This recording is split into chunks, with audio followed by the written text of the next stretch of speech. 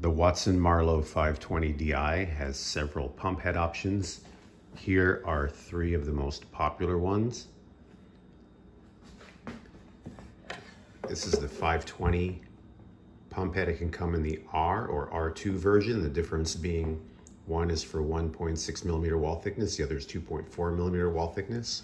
This, is, this holds a single piece of tubing, and you can tell which pump head you have because it'll be stamped right here with the wall thickness. These pump heads can be easily changed. Probably the most popular pump head on the pump is the dual channel 505L pump head and it takes tubing elements like this, low pulsation tubing elements. A third option are the 313 and 314 series pump heads. They look like this. These can be mounted easily on the 520 DI pump drive. And again, these are single channel pump heads. Each takes a single piece of tubing, but you can attach up to five of these on one pump drive, and I'll show that in just a moment.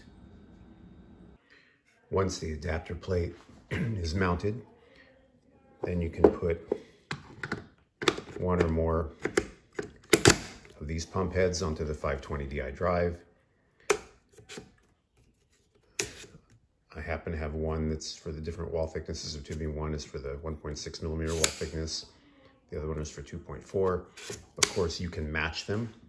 Once you have those pump heads mounted, then you want to change which pump heads you have in the programming.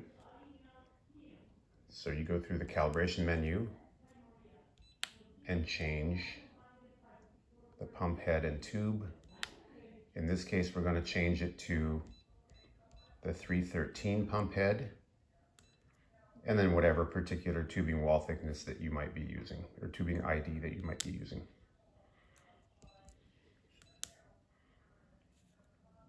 Back to the main menu, you're ready to program your dose.